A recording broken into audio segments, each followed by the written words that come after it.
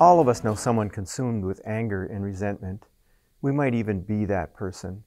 It turns out these feelings have negative health consequences.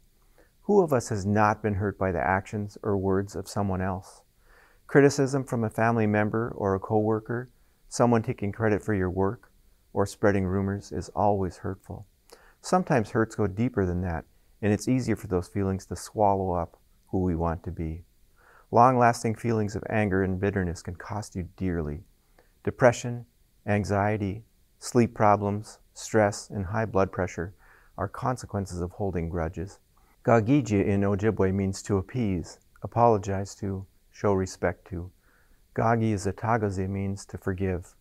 It means to decide to let go of feelings of resentment and thoughts of revenge.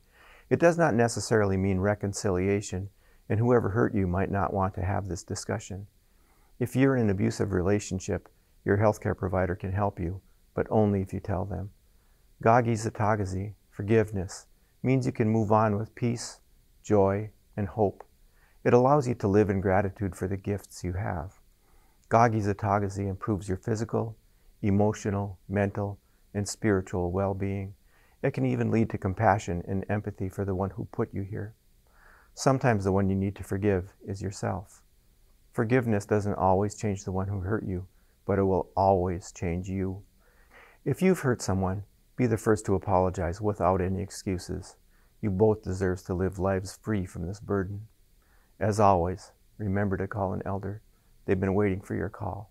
I'm Dr. Arne Vainio, and this is Health Matters.